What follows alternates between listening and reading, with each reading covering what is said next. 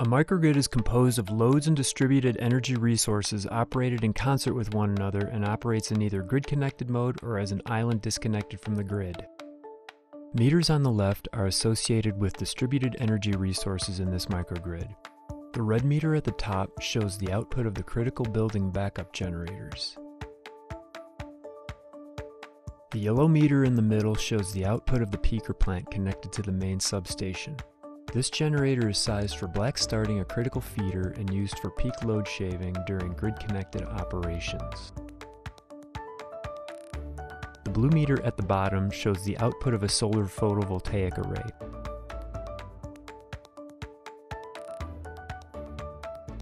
This is the main electric utility line feeding the base, including the main electric service disconnect. There's a power outage and the entire base goes dark. For safety reasons, the PV array shuts down when it senses a loss of grid power. Backup generators start up to serve the load at each critical building. At headquarters and the airplane hangar, backup generators don't start, perhaps due to a lack of maintenance. To prepare for islanding, the main electric service disconnect opens. This is done to prevent backfeeding electricity to the utility grid for safety reasons.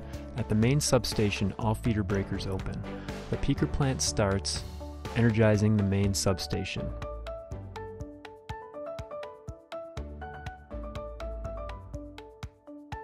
Two critical feeder breakers close. This provides power to headquarters, the fire department, and the PV array.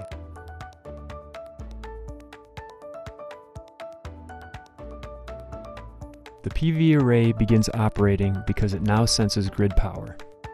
Note that the load on the peaker plant drops after the PV has come online. The additional power provided by the PV reduces fuel consumed by the fossil fuel generating resources. The remaining feeder breakers close, providing power to the rest of the base.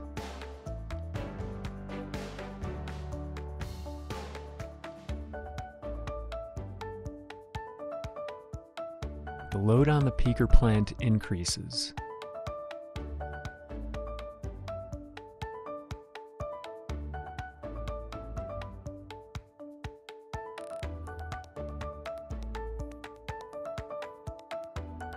As the backup generators shut down, the load on the peaker plant increases even more. Operating an islanded microgrid. Note the introduction of the orange meter in the lower left corner labeled Building Automation Systems. If the power outage continues for a longer period of time, the base may consider reducing or disconnecting non-critical loads to reduce fuel consumption. Building automation systems can assist with this. As power consumption is reduced at non-critical buildings, power output of the peaker plant is reduced as well. Because these are non-critical buildings, the building automation system is putting them in an unoccupied state. When all the backup generators are shut down, the peaker plant load increases to 100%. The backup generator at the airplane hangar is repaired. When it starts, the peaker plant load decreases. The backup generators in this microgrid have been modified with controls and switchgear that allow them to operate in parallel with the peaker plant.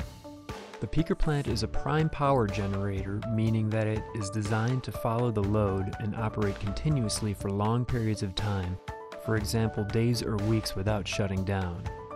Even though backup generators are designed to operate for only a few hours at a time, they can be an important part of the microgrid. The backup generators now cycle for short periods of time to optimize fuel use or meet temporary higher load conditions.